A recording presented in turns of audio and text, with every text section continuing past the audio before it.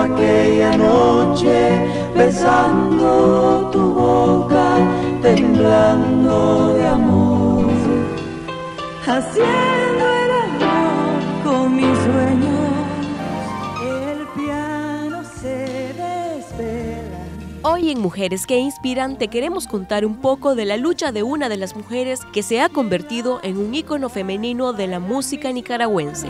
que te escriben canciones el amor ya conoce. La música sana tu ausencia.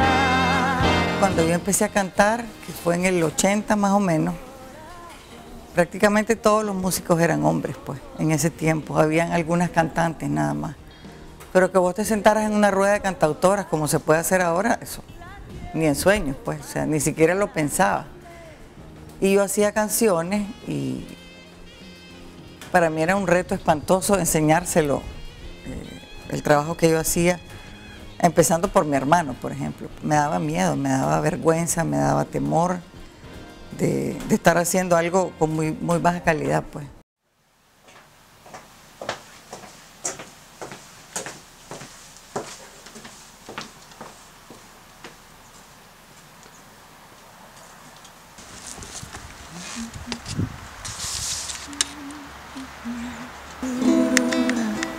Aunque sus inicios dieron mucho fruto en el dúo Guardabarranco junto a su hermano Salvador Cardenal, Katia con el tiempo mostró su esencia como solista. A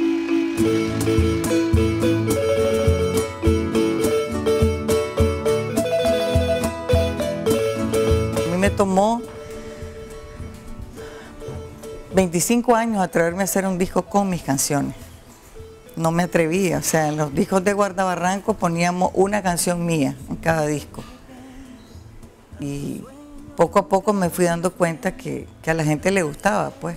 Por ejemplo, esa que se llama Que no fuera para mí, es una canción que me ha, que me ha dado mucha autoestima, que me ha dado inspiración o confianza para hacer más canciones. Su herida, pero igual que su falda bordada. El hecho de mostrarse tal como es le ha permitido ser más fuerte en sus convicciones. Casi siempre se espera que la mujer sea como un figurín, un figurín pues.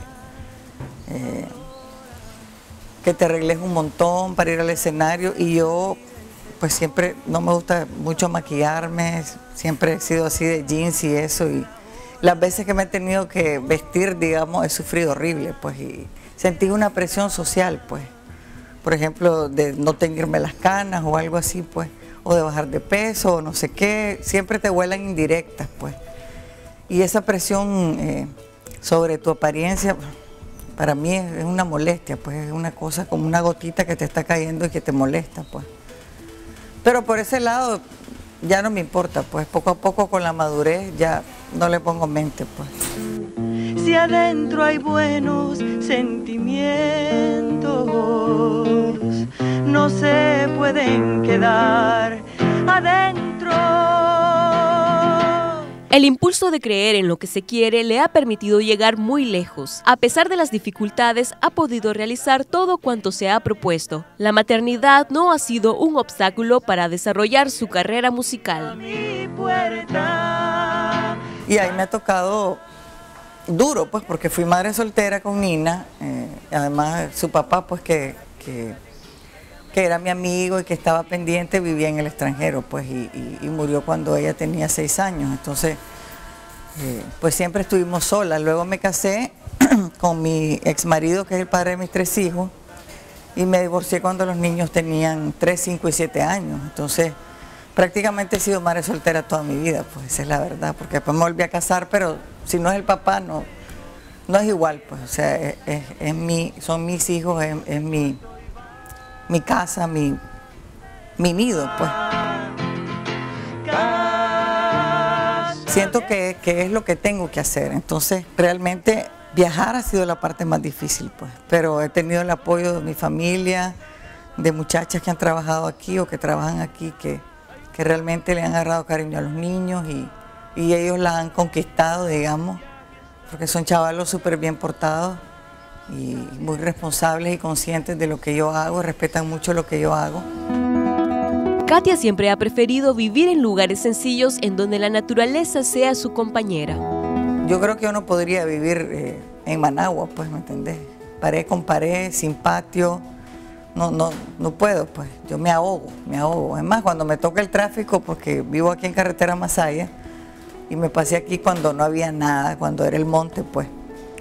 Eh, por ejemplo, a mí, o sea, tener verjas, tener hierros, para mí es un sufrimiento espantoso. Yo ni siquiera tengo muros, pues.